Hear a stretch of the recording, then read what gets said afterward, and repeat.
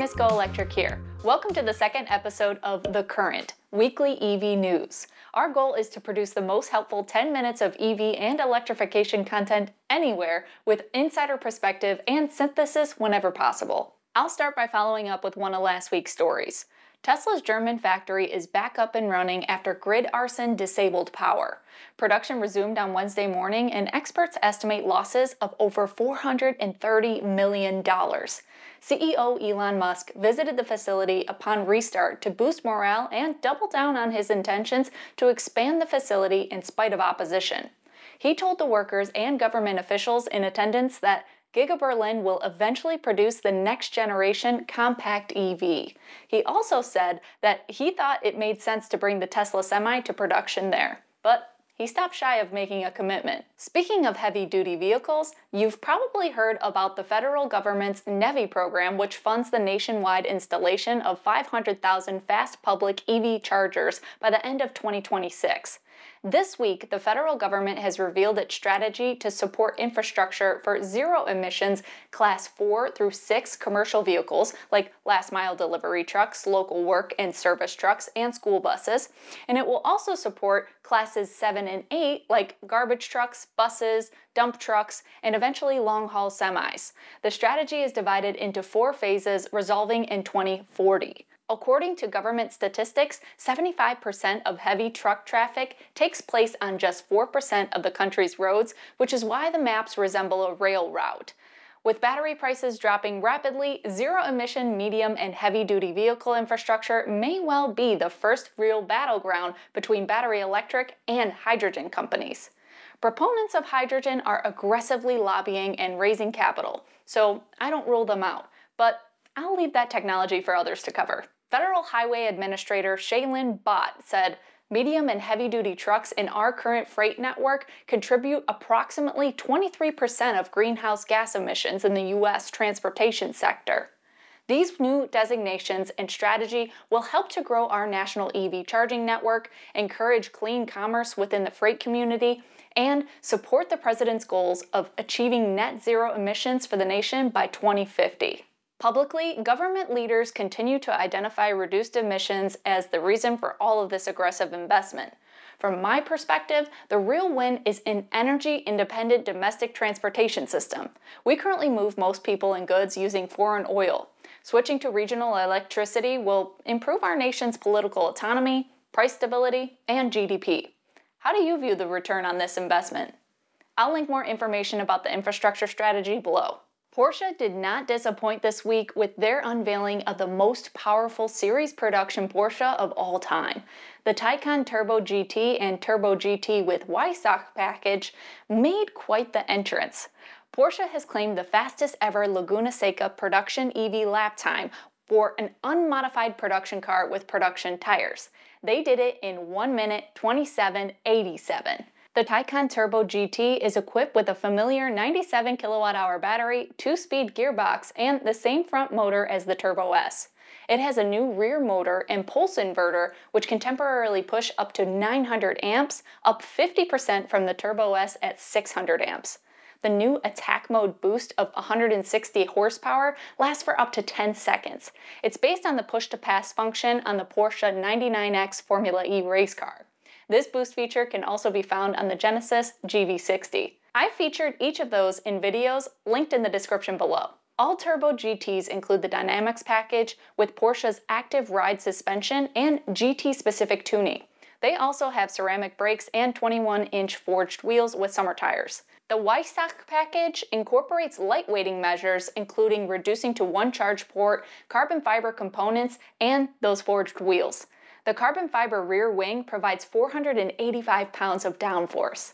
Compared to the standard Turbo GT, the Weissach package drops 154 pounds, partly due to the deleted rear seats. It can deliver peak output of 1,092 horsepower and 988 pound-feet of torque. The top speed is 189 miles per hour, and it can deliver a 0 to 60 mile per hour time of 2.1 seconds.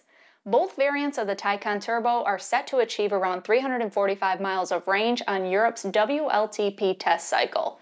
I'd expect a lower figure under the recently revised EPA standard, which tends to yield more accurate range estimates.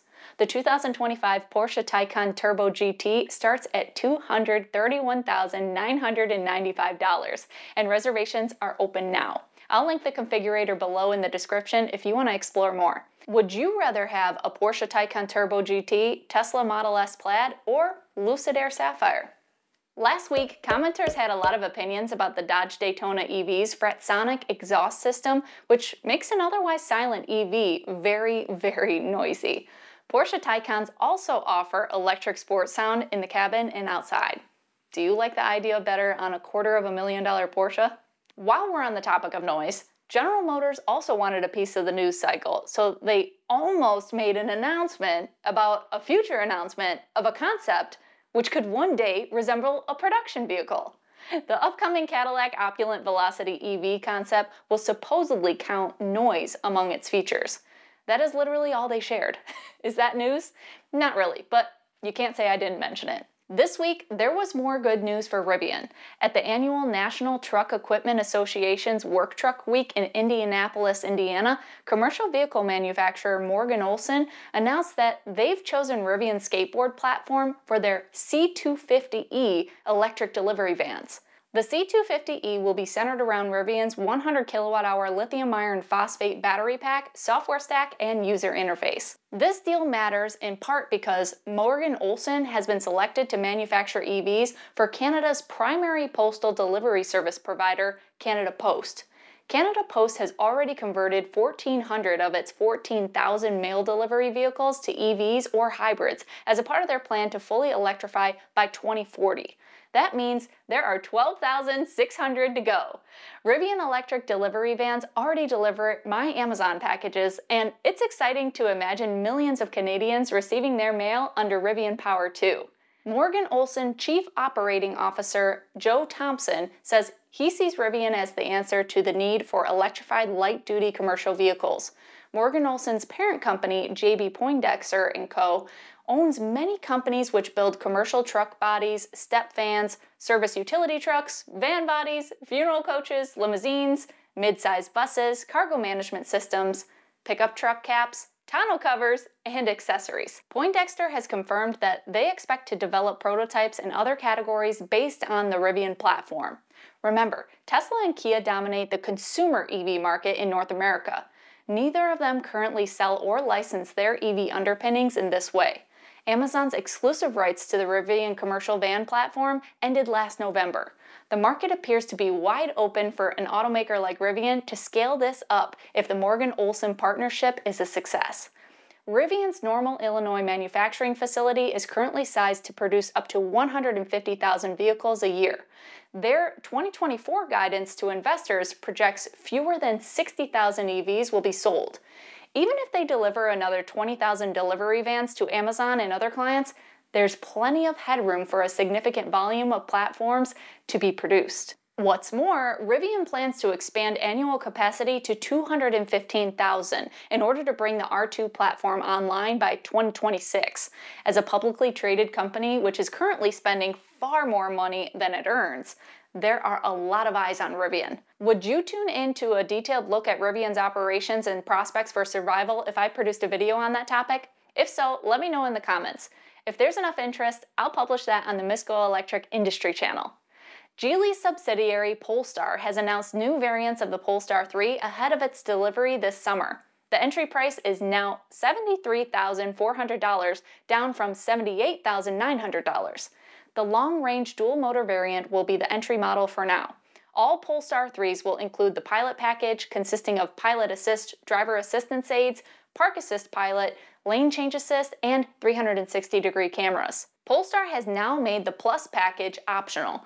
It includes luxury amenities like a 25-speaker Bowers & Wilkins sound system, head-up display, power steering column, heated steering wheel, and rear heated seats and soft closed doors.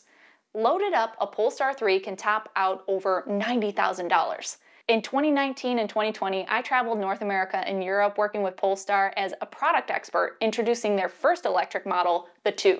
They initially delivered a fully loaded launch edition and made lower price configurations available as production ramped. This time, it appears as if the opposite is true. Several costly upgrades, including LiDAR, will not initially be available. A lower entry price will allow many drivers to take advantage of a $7,500 federal subsidy on leases on an initial batch of Chinese import Polestar 3s. When production begins in Ridgeville, South Carolina, starting the second half of 2024, I expect the Polestar 3 will qualify for a $7,500 EV point of sale purchase subsidy as well. I first published a walk around of the Polestar 3 in January of 2023 at the Consumer Electronics Show, and I have admired it since then. Volvo's 7 seat EX90 electric SUV will be built in the same factory as the Polestar 3. Which one do you like more? The Financial Times is reporting this week that Mercedes Benz CEO Ola Källenius is urging Brussels to lower tariffs on EVs imported from China. He said, Don't raise tariffs. I'm a contrarian. I think go the other way around. Take the tariffs that we have and reduce them. He went on to say that Chinese companies looking to export to Europe was a natural progression of competition and it needs to be met with better products, better technology, more agility. That is the market economy. Let competition play out. It is important to consider his company's ownership when evaluating these statements. Together, Chinese automakers Geely and SAIC own 20% of Mercedes Benz shares. More than 30% of Mercedes Benz vehicles are purchased in China. That said, I completely agree with this statement. A government's effort to squash competition and prop up corporations which produce inferior products only delay and exacerbate the fallout. Complacent competitors do not serve the best interests of humanity. Some global car companies rely on the Chinese market too heavily to take any kind of stance against China. For example, 40% of Volkswagen's car sales last year were attributed to China. Stellantis, Ford, and GM each own joint ventures with Chinese companies. Tesla is the only American company operating independently in China, but their Shanghai factory is the most productive and services much of the world, including Canada and Europe. The situation is complicated and fascinating. Soon, I'll publish an in depth piece dedicated to exploring the topic of Chinese EVs and the various paths forward. You'll be able to find that on the Miss GoElectric Industry channel, where I typically share factory tours and executive interviews. On to the next story. Fisker, a publicly traded and asset light EV startup, has seen its valuation plummet from $8 billion to 95 million over the last two years. Reports that bankruptcy is on the horizon have been downplayed by its founder, who suggests that a major automaker is in talks for a partnership which could improve their outlook. Now, I have years of professional experience working in the wake of Henrik Fisker and know a lot about the history there. In order to tell the whole story, I've published a separate video which offers great detail up to the present day. It's linked in the description.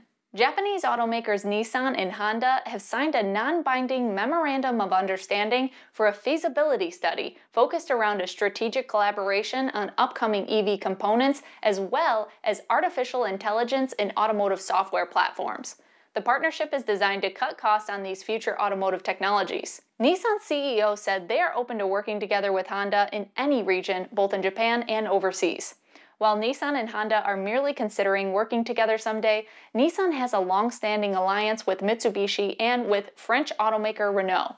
Nissan has also invested in Renault's European EV business unit called Ampere, which engineers and produces electric vehicle platforms and software. Honda's first electric SUV, the Prologue, is built at the General Motors plant in Mexico as a part of their EV alliance.